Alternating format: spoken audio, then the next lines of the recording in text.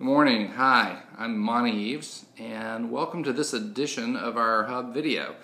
Today we want to talk about some additional information related to the article in this month's journal. So, in the article, we talk about some really important factors, and that is how we do the randomization, who does a randomization, and just as important, when the randomization is done in relationship to the treatment that we're going to do.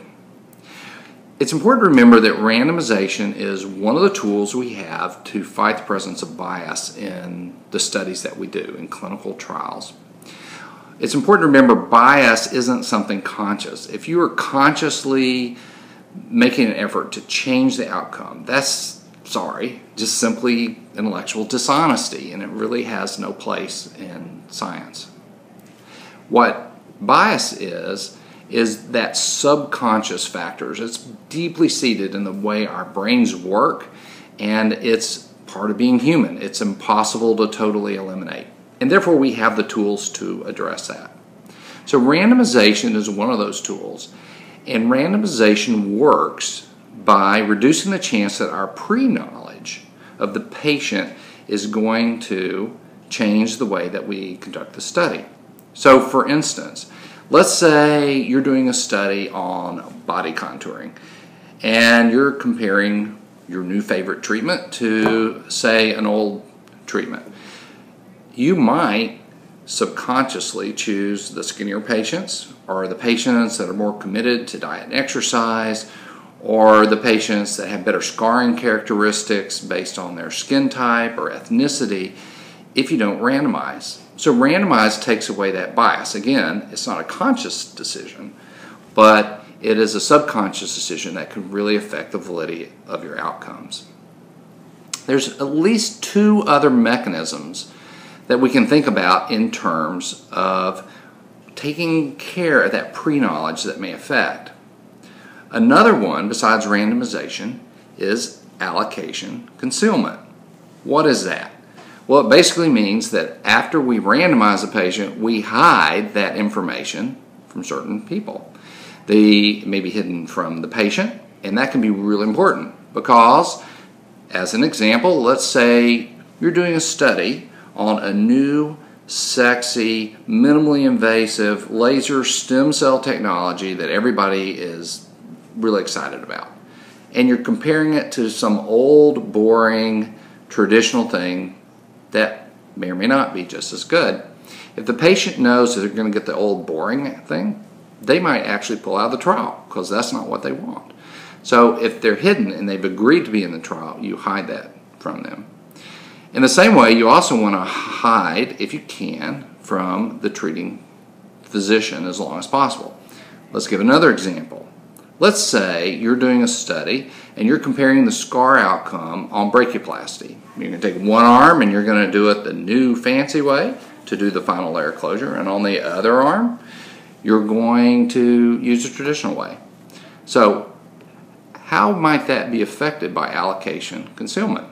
Well, the more you hide that by randomizing late and by hiding the allocation might mean that you're less likely to subconsciously treat those two arms differently.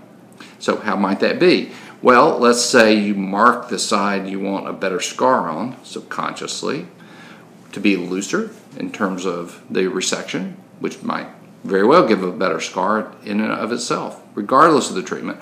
Or let's say that when you're closing the deep layers, you take a little more care in terms of really aligning and taking that tension off the wound on the side you want. So, not that you do that consciously, but it can happen.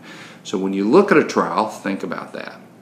Now, there's a third mechanism that everybody knows that takes care of another aspect of pre knowledge, and that is blinding.